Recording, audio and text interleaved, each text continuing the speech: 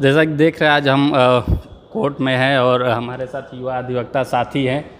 इनसे बात करेंगे कि वकालत का क्या अनुभव रहता है और बहुत सारे जो युवा अधिवक्ता एलएलबी करने के बाद आते हैं अपना रजिस्ट्रेशन करा के उनके मन में रहता है कि हम वकालत करने जाएँगे और कितना कमा पाएँगे खर्च कितना निकाल पाएँगे इन सब विषयों का हम प्रश्न जो युवा अधिवक्ता हैं इनसे बातचीत करके आपको बताएँगे।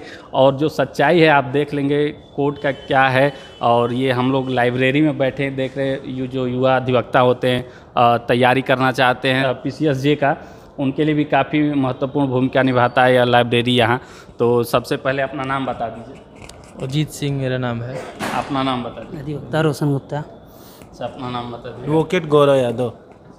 तो ये बताइए कि मतलब कै- कितने वर्ष हो गए आपको लगभग दो वर्ष हो गया लगभग। अच्छा, दो वर्ष हो गया आपको। आपको? लगभग डेढ़ वर्ष। अच्छा लगभग तीन साल। अच्छा तो बहुत सारे जो युवा अधिवक्ता होते हैं रजिस्ट्रेशन कराते हैं वो कमेंट करके हमसे पूछते हैं कि सर बताइए कि एक वकील की सैलरी कितनी होती है? अ, कितना वकील कमा पाता है? तो आपको बता दूँ कि अधिवक्ता दो प्रकार के होते हैं। एक सरकारी अधिवक्ता एक प्राइवेट अधिवक्ता। कि सरकारी वकील जो एपीओ अधिकारी होते हैं उनको बोला जाता है वो प्राइवेट अधिवक्ता होते हैं अपना खुद का प्रैक्टिस करते हैं। वो है बताइए कि मतलब सामान्य एक युवा अधिवक्ता हो तो उसके मन में रहता है कि अ, हम प्रैक्टिस करेंगे खर्च निकल पाएगा कि नहीं निकल पाएगा। तो इस सब समस्याओं से आप कैसे निपटते हैं? शुरू में तो शुरू के दो चार पाँच साल तो मन में बहुत ही शंका रहता है कि क्या होगा कैसे होगा। कैसे खर्च निकलेगा कैसे इनकम का क्या सोर्थ है तो काफ़ी दिक्कत होता है शुरुआत में। डेली जिसे कोई पूछना चाहता है कि डेली एक अधिवक्ता कितना कमा पाता है तो मिनिमम कोई एक अंदाज़ा इसका कोई आंकड़ा बताइए तो। इसका कोई आंकड़ा नहीं है कि एक अधिवक्ता एक दिन में कितना कमाता है। मतलब इतना कुछ इतना कुछ कमाई हो जाए कि चेहरे पे खुशी रहे या मायूसी क्या रहता है। खुशी तो अभी नहीं रहेगा फ़िलहाल जब तक दस वर्ष की प्रैक्टिस नहीं हो जाएगी तब तक खुशी कहाँ रहेगा? अच्छा। कम से कम दस वर्ष होने चाहिए। सर तो आप बताइए मतलब कुछ अनुभव है कि खर्चा कितना निकल जाता होगा एक युवा अधिवक्ता को? सौ सौ दो सौ जो निकल जाएगा आने जाने का जो भाड़ा बस वही बस वही निकलेगा इससे इससे ज़्यादा कुछ नहीं हो पाएगा। शुरुआती दिनों में मैं अपना बता रहा हूँ कि मैं जब पहली बार आया तो कम से कम पंद्रह बीस दिन तक तो एक चवन्नी नहीं मिला। इसी तरह भटकते रहते थे यहाँ वहाँ। कभी इसके यहाँ, कभी उसके यहाँ। कुछ हमारे साथी थे जिनके यहाँ जाकर टाइम भी बिताते थे हम। लगता था कि बड़ा बेकार चीज़ है कचहरी, यहाँ आना जाना वो है। फिर पंद्रह बीस दिनों के बाद कहीं से पचास रुपया मिल गया तो बड़ा खुशी हुआ हमको कि चलो मिला तो कुछ। उसके बाद धीरे धीरे मन लगने लगा। अपना आने जाने का खर्चा, तेल का खर्चा निकल जाता था। तो फिर अपना उसी तरह चल रहा है।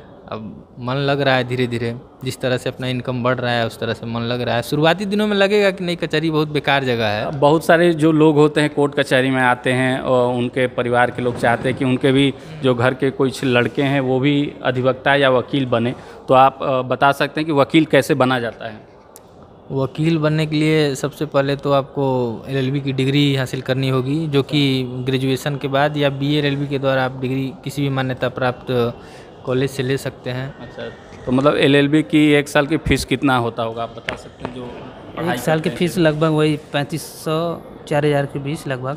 अच्छा मतलब ये सरकारी कॉलेज बताने की प्राइवेट? सरकारी कॉलेज। सब संस्था का अलग अलग फ़ीस है जो भी सरकारी फ़ीस है प्राइवेट और सरकारी में दोनों में अपने अपने यूनिवर्सिटी अब लगभग कितने साल लग जाता है एलएलबी कंप्लीट करने में? तीन वर्ष।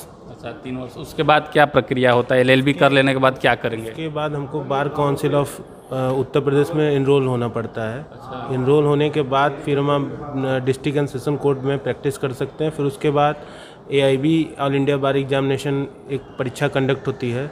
उस उसको क्लियर करना पड़ता है। तो मतलब अभी आप कोर्ट में जैसे होता है बहस वगैरह कर लेते हैं? हाँ बहस वहस हम लोग कर लेते हैं। छोटा मोटा बहस जैसे कि पास्को उसको का जिस बड़ा बड़ा केस रहता है तो उसमें थोड़ा सा हिचकिचाहट होती है, लेकिन अच्छा।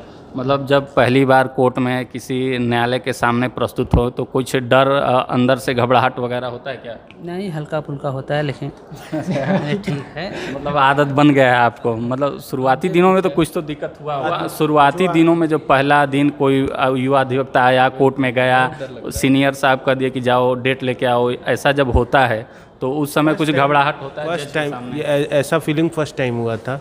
देन अभी नहीं। अच्छा मतलब पहली बार हुआ था? पहली बार दिक्कत समस्या होता है किसी जज साहब के सामने जाएँगे। इसके बाद धीरे धीरे आदत बन जाता है आप डेली जाने लगेंगे काफ़ी अनुभव अच्छा लगने लगता है। तो जो मुकदमा होता है उसका मतलब सुनवाई वगैरह कितना समय लगता है? क्या क्या प्रक्रिया होती है कोर्ट में? डिपेंड डिपेंड करता है मुकदमे के ऊपर कि उसमें क्या है। क्रिमिनल है कि सिविल सिविल है और डिपेंड करता है कि उसमें क्या धाराएँ हैं। युवा अधिवक्ताओं के लिए कुछ सरकार के तरफ़ से भी है क्या प्रोत्साहन राशि? या जो अपने मेहनत से कमा सकते हैं वही कमाएँगे? नहीं जो आप अपने मेहनत से कमाएँगे वही है कोई प्रोत्साहन राशि नहीं है उसके उसका मतलब अन्य कोई सरकारी भत्ते वगैरह नहीं है? सबसे पहले तो अगर आप कचहरी में प्रैक्टिस करना चाहते हैं एक अधिवक्ता के रूप में रेगुलर प्रैक्टिस करना चाहते हैं तो आप अकेले संभव नहीं है। क्योंकि आपको समझ में ही नहीं आएगा कि क्या हो रहा है, कैसे क्या है तो इस चीज़ को समझने के लिए सबसे पहले आपको किसी अच्छे सीनियर के पास जाना होगा। और सीनियर भी अगर आपके अच्छे रहेंगे तो आपको चीज़ों, चीज़ें, चीज़ों को समझने में आसानी होगी और वो आपका सहयोग भी करेंगे। किसी किसी जूनियर को काफ़ी दिक्कत हो जाता है सीनियर अच्छे नहीं मिलते हैं तो काफ़ी परेशानी भी हो सकता है। तो इसलिए आप, जो भी अपने गुरु या सीनियर कर लीजिए, उसको चुनना है तो उसका चुनाव पहले ढंग से कर लीजिए, उसके बाद प्रैक्टिस शुरू करिए। और उसके बाद जो है, कचहरी में आने के बाद सबसे पहले कोर्ट जानिए कि कौन सा कोर्ट कहाँ है, कौन से कोर्ट में कौन सी प्रोसीडिंग होती है। पास्को एक्ट है तो पास्को का कोर्ट कहाँ है? तीन सौ दो का मुकदमा है, हर थाने का अलग अलग कोर्ट होता है। ये सारी चीज़ें कौन सी कोर्ट किस बिल्डिंग में है? यहाँ पर लगभग पाँच से छः बिल्डिंग हैं। नकल विभाग कहाँ है? कई सारी समस्या हैं तो शुरू में का, काफ़ी दिक्कतें आती हैं समझ में नहीं आता है वकीलों को। तो यहाँ पर आइए तो किसी से भी अगर नहीं समझ में आ रहा तो पूछ भी सकते हैं। कोई शर्माने वाली दिक्कत नहीं है। कुछ लोग शर्माते हैं कि पूछने में बेजती हो जाएगा। जैसे हमारे रोशन भाई हैं ये भी बहुत शर्माते थे शुरू में। जैसे कि आपने पूछा कि शुरू में इनकम का स्रोत क्या होता है वकीलों का तो मैं आपको बता दूँ कि पहले तो आप सीनियर के अंडर में रहेंगे। सबसे मस्ट है काम सीखना। अगर सीनियर आपको कुछ दे देते हैं, खर्चा वर्चा आपका निकल जाता है या कुछ मिसलेनियस वर्क भी होता है ऐसा जो जूनियर खुद से आसानी से करा सकता है। केस तो शुरू में आपको कोई देगा नहीं क्योंकि जो है विश्वास सबसे पहले क्लाइंटों के बीच में एक संबंध बनाना होता है। विश्वास किसी पर जमना ज़रूरी होता है। आते ही आपको कोई मुकदमा देगा नहीं। तो पहले धीरे धीरे प्रोसीडिंग सीखिए मिसलेनियस वर्क करिए सीनियर के साथ वर्क करिए। सीनियर भी आपको देते हैं, या मिसलेनियस वर्क से भी कुछ कमाई हो जाता है, अपना शुरू का खर्चा निकलता है, उसी तरह से कठिन परिस्थिति थोड़ा सा सामना करना पड़ सकता है आपको।